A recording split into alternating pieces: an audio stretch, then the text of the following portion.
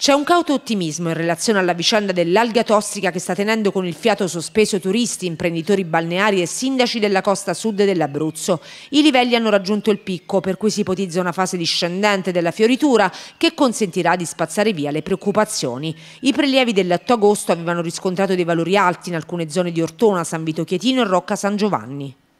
L'andamento è quello di una fioritura che ha un picco evidentemente, ma avrà senz'altro una fase discendente. Siamo speranzosi che la fase discendente sia in corso.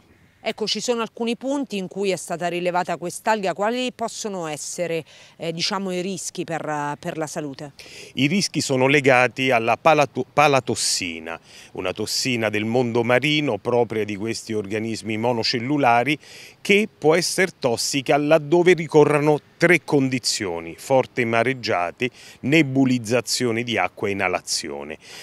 Ecco, è difficile che tutte e tre queste condizioni meteomarine si verifichino, quindi l'alga desta una preoccupazione in fin dei conti relativa, se non minore. Il contatto, il semplice contatto non desta preoccupazioni.